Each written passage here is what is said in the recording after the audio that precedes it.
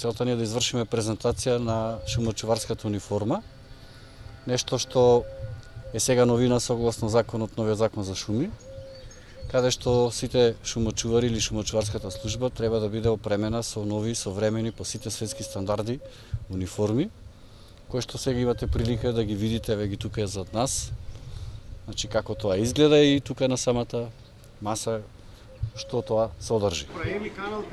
Значи ова е една новина, До сега година за шумарската служба функционираше со некои стари униформи кои беа надвор од светските стандарди. Особено ова униформа е усогласена и со законот за шуми, но и со законот за безбедност и здравје при работа, каде што се почитувани сите оние стандарди кои што согласно тој закон требаше да ги применет. Значи набавени се 360 униформи за 308 шумочувари колку македонски шуми ги има во моментот.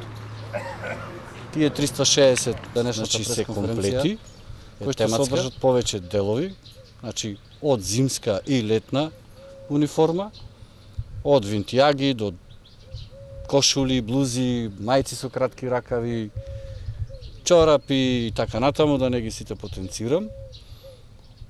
И сакам да напоменам дека целата таа униформа е прво со висок квалитет од неколку аспекти. Прво, значи имаат доста заштитен фактор од климатски влијанија, значи од